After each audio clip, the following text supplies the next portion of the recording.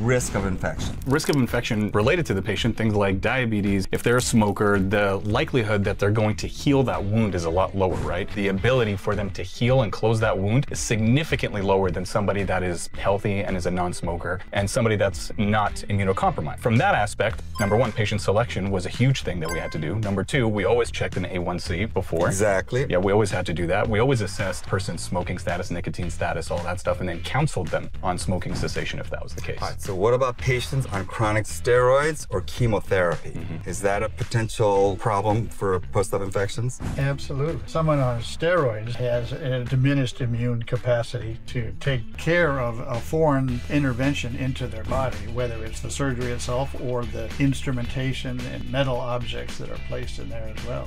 So Somebody who- addressing surgical site infections starts even before the surgery. 100%. Making sure that the patient is essentially optimized as best as they can possibly be to undergo the surgery. Hemoglobin A1C is huge for us. We don't have a lot of steroids, take patients that are on steroids, nor a lot of patients on chemotherapy. So I would say by far, at least in my practice, hemoglobin A1C is the number one thing that affects surgical decision making.